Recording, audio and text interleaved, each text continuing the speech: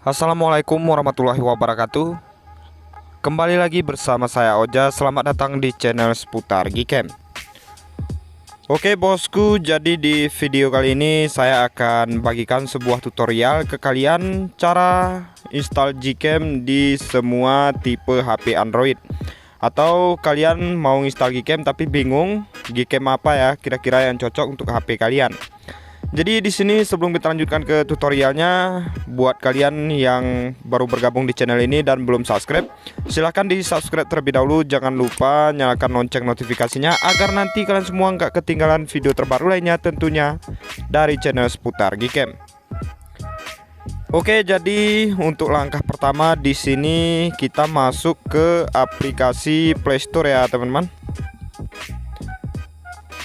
Setelah kita udah masuk ke aplikasi Playstore-nya, kemudian di sini kita cari aplikasi nama aplikasinya di sini yaitu Gcamator. Oke, misalkan udah kita download aja, kita pilih dulu yang nomor tiga ini ya, teman-teman. Dan perhatikan di sini untuk ukuran filenya 12 MB. Kita pilih aja seperti ini, kemudian langsung aja di sini kita install. Nanti saya jelaskan fungsi dari aplikasi ini untuk apa ya teman-teman.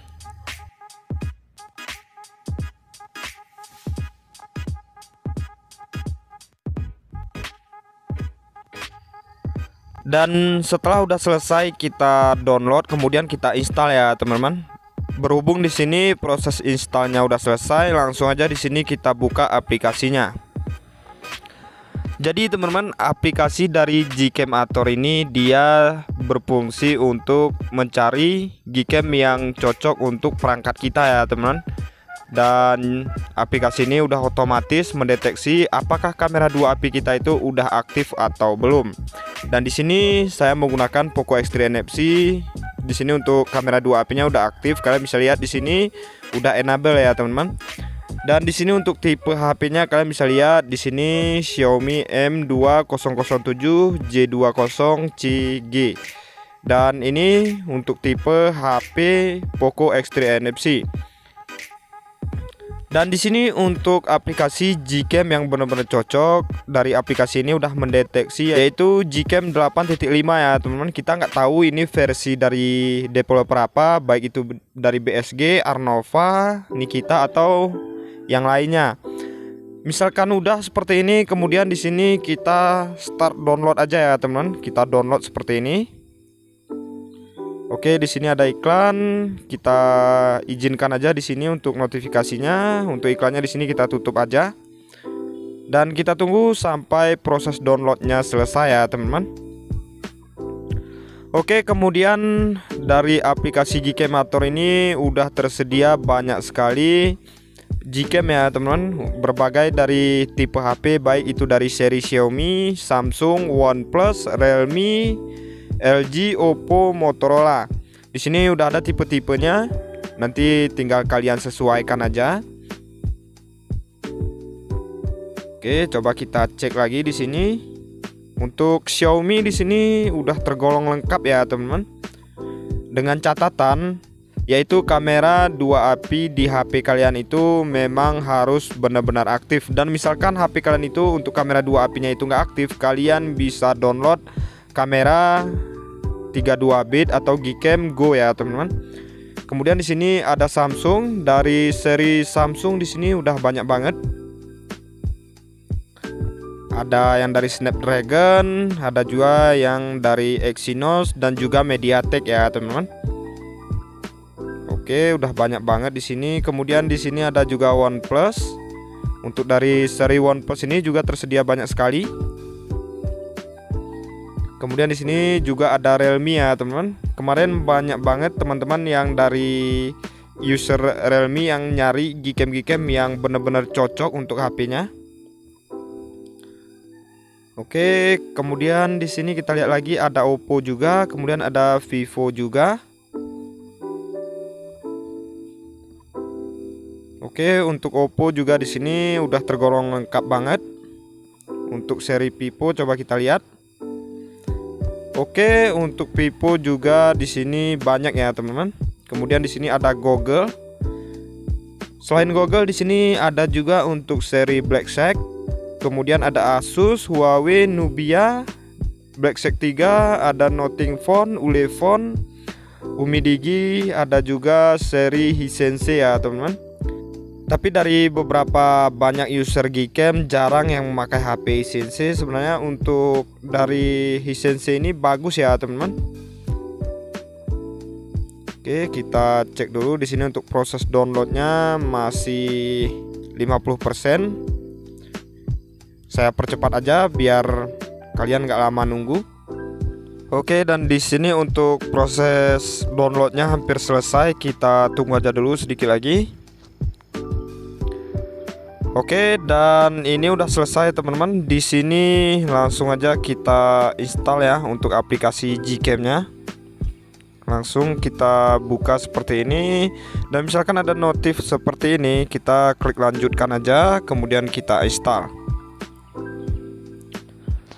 Oke kita tunggu dulu proses instalasinya sampai selesai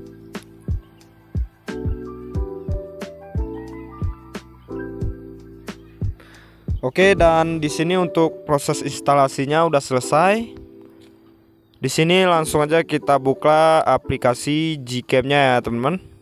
Langsung aja kita buka. Dan saat pertama kali kita menginstal Gcam, di sini kita klik izinkan, kita izinkan aja sampai selesai. Oke, dan di sini untuk aplikasi Gcam-nya work ya, teman-teman, di perangkat saya ini berarti aplikasi dari Gcamator tadi memang benar-benar recommended banget untuk mencari Gcam yang benar-benar cocok untuk HP kita. Di sini kita lihat untuk seri Gcam yang udah kita download melalui aplikasi Gcamator tadi. Kita lihat di sini untuk versinya versi berapa ya, teman-teman?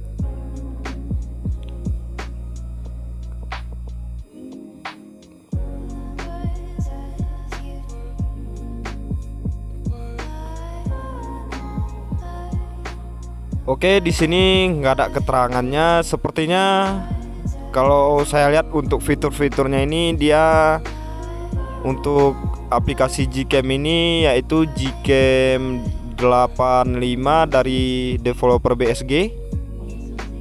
Dan di sini kita lihat untuk fitur-fiturnya seperti apa dari Gcam ini. Oke, di sini untuk pengaturan umumnya di sini udah lengkap, udah lumayan lengkap banget. Kita coba scroll lagi ke bawah. Di sini juga udah ada auto night shade. Kemudian untuk exposure juga udah ada di sini. Sepertinya untuk Gcam ini belum support config ya, teman-teman dan berhubung karena memang di sini saya menggunakan Poco X3 NFC sebenarnya untuk Poco X3 NFC ini udah support banyak sekali Gcam ya teman-teman. Baik itu dari Nikita, Samim, LMC 84, LMC 82 kemudian dari Gcam Monfir, MTSL AGC dan masih banyak lagi ya teman-teman yang memang support untuk Poco X3 NFC. Tapi dari aplikasi Gcamator ini memang merekomendasikan Gcam 8.5 ini karena kemungkinan dia lebih stabil lagi. Coba langsung di sini kita coba shoot. Oke dan ini udah kita shoot walk ya teman-teman di mode kamera. Kita coba lagi untuk mode malamnya. Oke untuk mode malamnya walk juga Untuk mode portrait coba langsung kita shoot. Oke untuk semua modenya di sini walk ya teman-teman. Dan di sini juga udah ada pilihan lensa. Di sini ada lensa 1,2 Biasanya untuk lensa 1,2 ini dia lensa ultrawide ya teman-teman. Oke, di sini untuk lensa ultrawide kita coba. Dan di sini walk untuk lensa ultrawide-nya. Kemudian lensa 1,9 ini Biasanya untuk lensa 1,9 ini dia lensa makro. Oke, langsung aja kita klik seperti ini.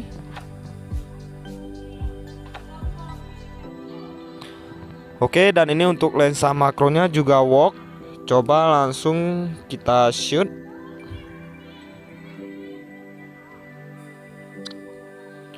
Oke, dan untuk lensa makronya ini work juga.